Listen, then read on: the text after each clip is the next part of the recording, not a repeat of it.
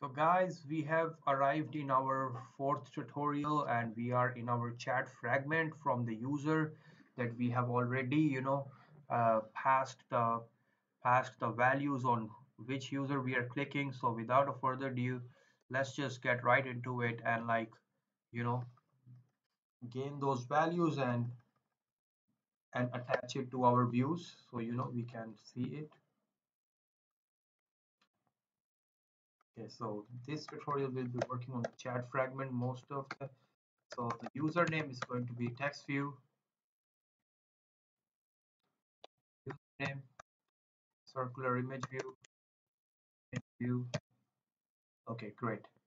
And uh, we need something uh, some variables to store the receiving values from the user to chat fragment the arguments if I may in the more uh, good language yeah. So we need position. We are receiving position.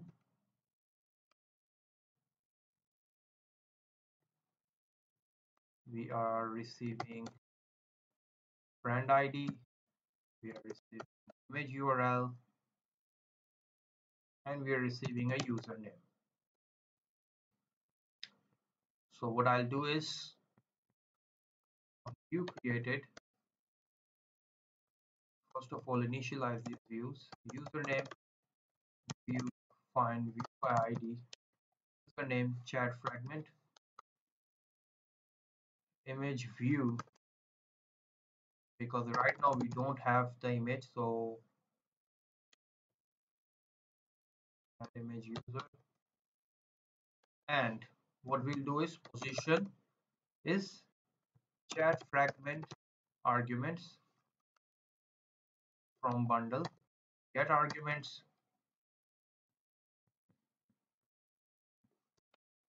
Get position. So that's how you receive those values that you had passed. Okay friend id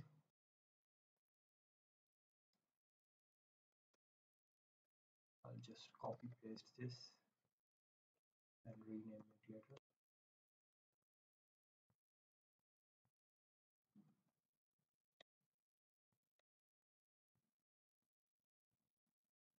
Okay. Friend id is equals is going to be get friend id image url is going to be get image url username is going to be get username. So what i'll do is username we can set the text view username. And if I see right now if I run this app and click on our from the user fragment then the values should be working and if it's not then we'll fix it. But yeah I'm sure it will work. So we want to know with whom we have entered the chat in.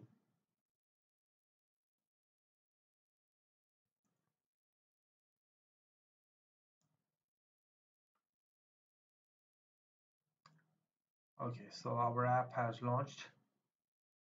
And let's say if I click on Jason so it's showing Jason. I go back Jonas. Samuel Samuel. Okay that means whatever the values that we had passed are correct but we are still not done yet so there is a lot of work that we have to do now. So what we will do is we will go back to our user fragment and show who is logged in. So to do that, we need a circular image view.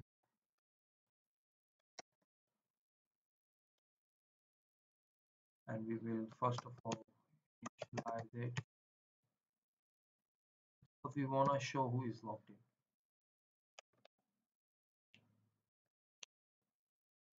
Image view user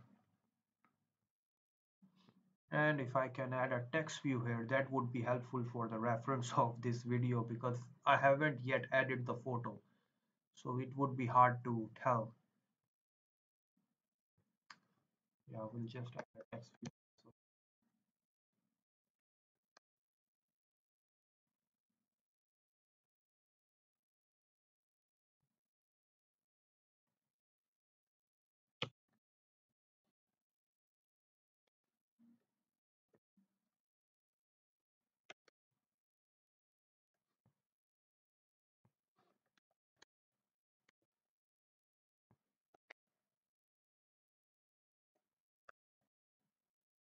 size we can give it a little bit 18 sp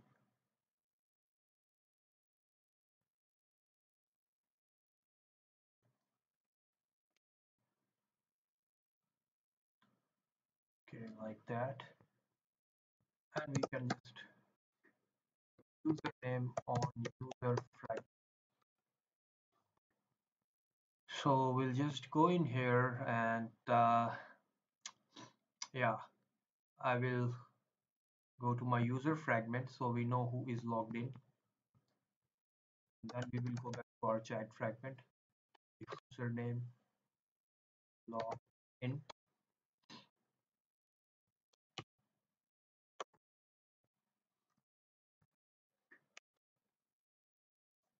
Username on user fragment so we know who is logged in. And I'll come back in here so we need Firebase Firestore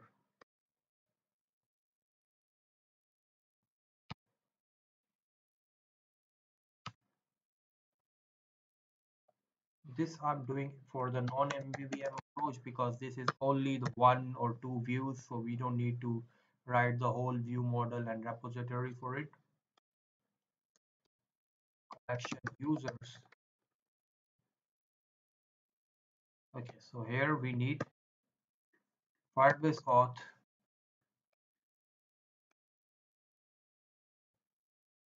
Okay user id user id and you get uid because I only want to display who is logged in. So that is why I would specifically query the user that has the same document ID as the user who is logged in so if if this Samuel has logged in that means I must pass Samuel's user ID in order to only query this field. Otherwise, if I don't pass this, then I would end up querying this whole list of documents. But we need specific, so we have to be, spe be specific here. Document user ID. Add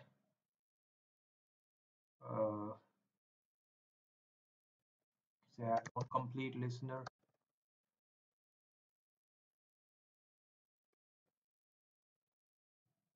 Uh, get. Here what we'll do is if task is successful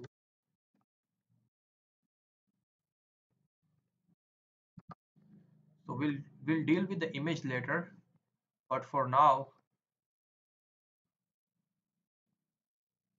we have to display the name. So take this here and uh, uh, user model user model task get result. Oh maybe not. Yeah like this. And we'll name it user name user model get string because the field that we are querying is username.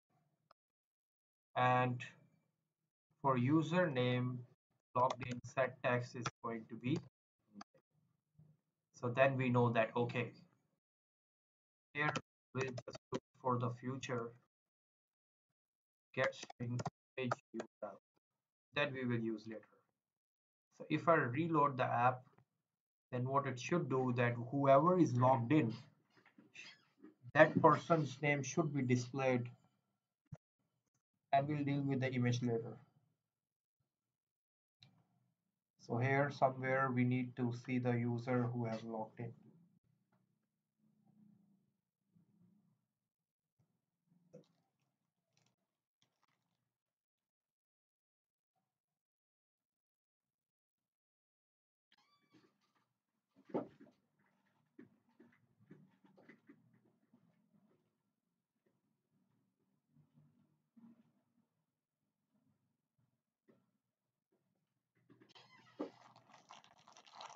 So the reason we can verify it that for sure Ninja has logged in is because we don't see Ninja in this list.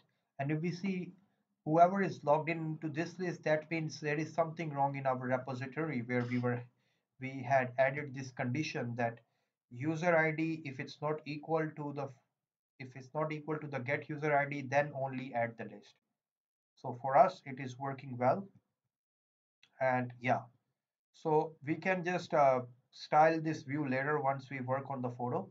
But now that we are in the chat fragment, let's go to the chat fragment and initialize all the views. Like the back button, the message that we are going to type, the send button, and all that, okay?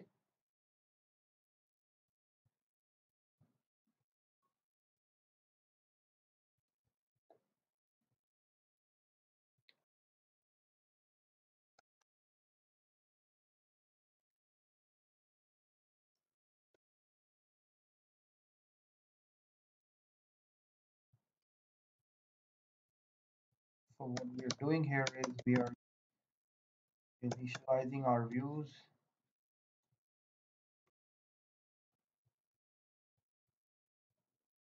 The image button is going to be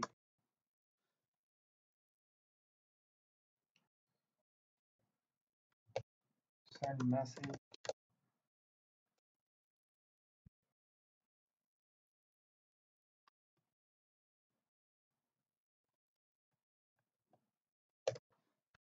send message and the message that we are going to type.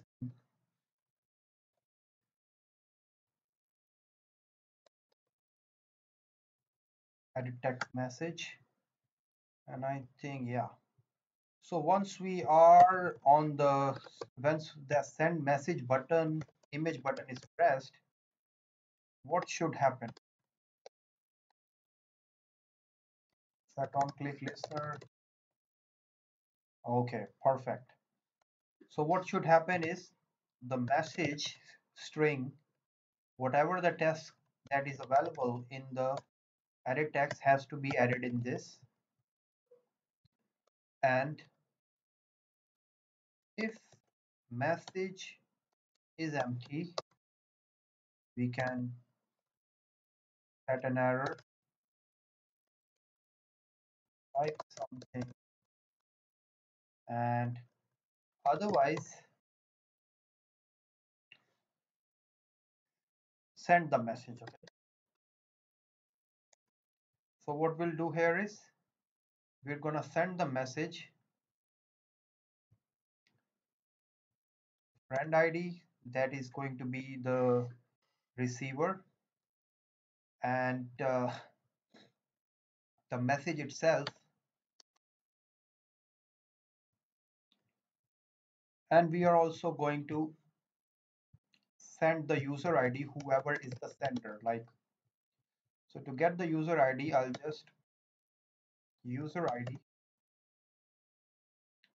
Firebase auth get current user get UID the reason it's showing that because we want to check if it's null or not but it's not null.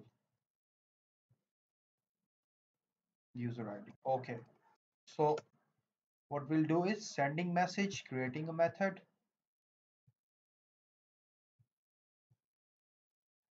And what should happen now is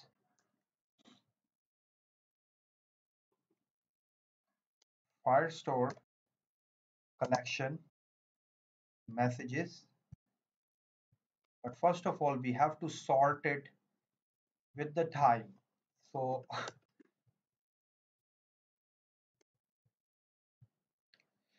so why am I doing this extra step of like adding the messages with the time timestamp. The reason is if I will add the messages randomly and it's like Firestore is adding adding the documents randomly. For example, if there is no user ID specified and it's just adding the documents alphabetically, whatever the order that pleases the Firestore, then our messages will not display in order. But once I once I display once I add the messages with the timestamp, that means it will have an order because it is a number.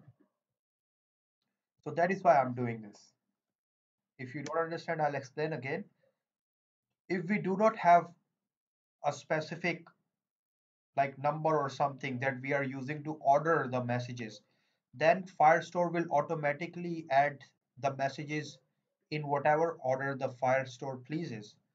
And in the same order, whatever the order of the documents is here, Firestore will display our data in the recycler view. But we want to display our messages the latest message first so that is why we have to order it and therefore I have used the time stamp we'll use hash map because we are passing the values in Firestore hash map is great even if you are using real-time database in Firebase kind of same method. Sender. Who is sender? User ID sender. Who is receiver? Friend is the receiver.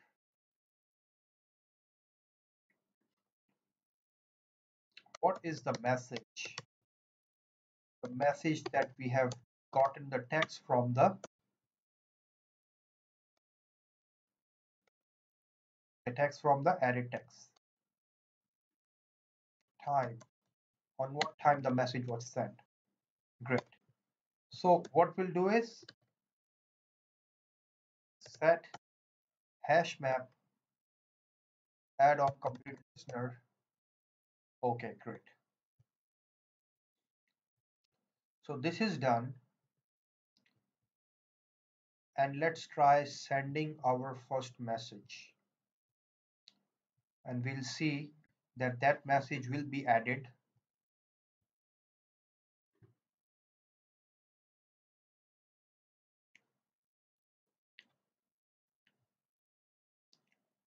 If it's successful, then it should add a new collection in the Firestore.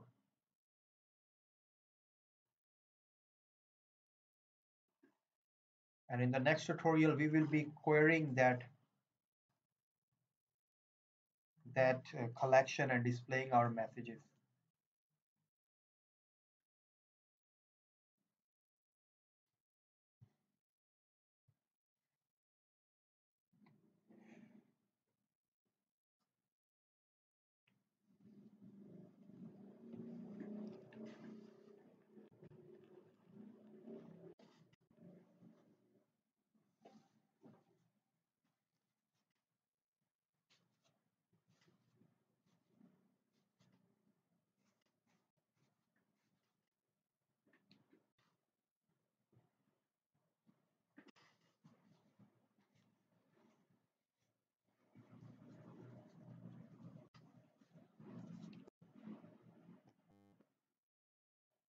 So in this tutorial, what we have done is we have just sent the messages in our to, to our respective users. And in the next tutorial, what I'll do is I will display those messages. So I'll see you in the next one.